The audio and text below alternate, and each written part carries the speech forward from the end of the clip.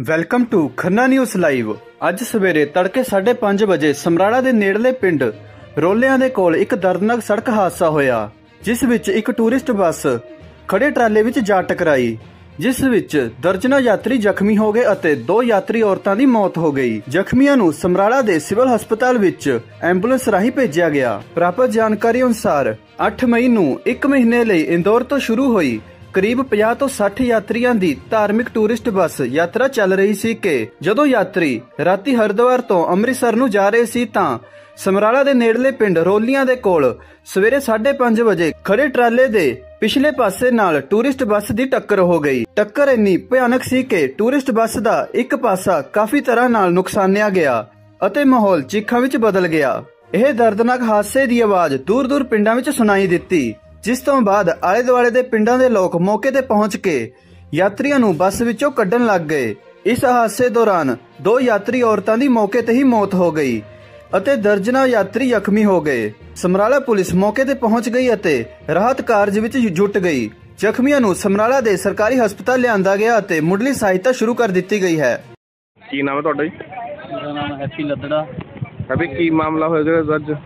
ਸਾਡੇ ਪਿੰਡ 5:30 ਵਜੇ ਖੜੇ ਟਰੱਕ ਦੇ ਵਿੱਚ ਬੱਸ ਜਾਂਦੀ ਸੀਗੀ ਸਿੱਧੀ ਟੱਕਰ ਵੱਜੀ ਤੇ ਸਾਡੇ ਪਿੰਡ ਕਾਫੀ ਆਵਾਜ਼ਾਂ ਆਈਆਂ ਚੀਕਾਂ ਆਈਆਂ ਤੇ ਸਾਡਾ ਸਾਰਾ ਪਿੰਡ ਭੱਜਿਆ ਆ ਤੇ ਭੱਜ ਕੇ ਸਵਾਰੀਆਂ ਨੂੰ ਕੱਢਿਆ ਬਾਹਰ ਤੇ ਦੋ ਦੋ ਜਣਿਆਂ ਦੀ ਡੈਥ ਵੀ ਹੋ ਗਈ।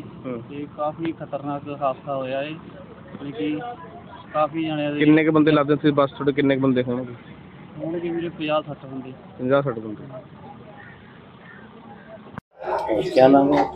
हेमंत पाटीदार। क्या हुआ?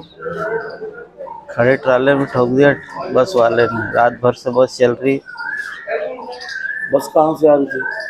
बस हरिद्वार से आ रही थी। तीर्थ यात्री? तीर्थ यात्री कितने लोग थे? पचास लोग थे। थर्ड ट्राले में हाँ। के ऊपर था रोड के ऊपर ही था। रोड के ऊपर था। अभी कितने यात्री इंजर्ड हुए हैं? लगी है थोड़ी थोड़ी लगी है सबको विषय की यात्री को लगी है। ठीक है सब ज़्यादा ठीक है ज़्यादा किसी को नहीं लगी है। आपको जाना कहाँ था? अमृतसर जा रहे थे हरिद्वार से। बच्चे भी हैं? बच्चे भी है। बुज़ुर्ग। बुज़ुर्ग भी है। अभी आपके चोट लगी है? कमर में लगी है। कितने बजे हुआ था ये हादसा? सुबह सुबह छः बजे हुआ साढ़े पाँच बजे। पाँच पाँच बजे होंगे ध्यान तो नहीं है तभी नींद में थे क्या लगता है ड्राइवर को नींद वगैरह आ गई ड्राइवर को झपकी आ गई नींद की रात भर से गाड़ी चला रहा पेशाब करने के लिए भी नहीं रोका उसने गाड़ी ड्राइवर ठीक है ड्राइवर तो भग गया गाड़ी में से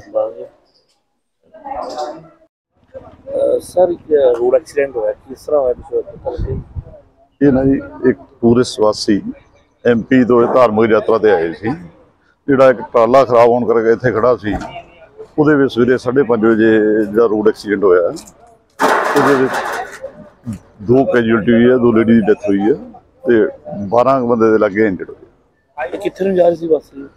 ਇਹ ਬਸ ਅੰਮ੍ਰਿਤਸਰ ਹਰਿਦੁਆਰ ਤੋਂ ਅੰਮ੍ਰਿਤਸਰ ਜਾ ਰਹੀ ਸੀ। ਹਰਿਦੁਆਰ ਤੋਂ ਨਹੀਂ ਮਾਤਾ ਵੈਸ਼ਨੋ ਦੇਵੀ ਜੀ। ਜਿਹੜਾ ਟਰਾਲਾ ਸੀਗਾ ਜੀ ਇਹਦਾ ਕੋਈ ਫੜਿਆ ਗਿਆ ਬੰਦਾ? ਕਿ ਰੋਡ ਦੇ ਉੱਤੇ ਸਿਆ ਉਹਨੇ ਹਜੇ ਡਰਾਈਵਰ ਇਹਦਾ ਭੱਜਿਆ ਆ ਟਰਾਲਾ ਰੋਡ ਤੇ ਖਰਾਬ ਹੋਇਆ ਖੜਾ ਸੀ।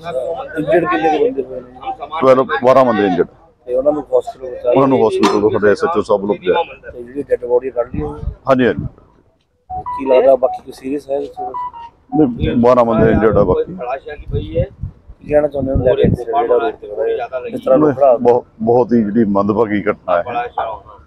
ਜਿਹਨਾਂ ਹੁਣ। ਰੋਡ ਦੇ ਭਾਵੇਂ ਖਰਾਬ ਵੀ ਖੜਾ ਸੀ ਇਹਦੇ ਖਿਲਾਫ ਅਸੀਂ ਜਿਹੜਾ ਕੇਸ ਰਜਿਸਟਰ ਕਰ ਰਹੇ ਹਾਂ। ਲਾਪਰਵਾਹੀ ਦਾ ਦੋਸ਼ੀ ਕਰ ਸਮਰਾਲਾ ਤੋਂ ਪੱਤਰਕਾਰ ਭੂਸ਼ਣ ਬੰਸਲ ਦੀ ਖਾਸ ਰਿਪੋਰਟ।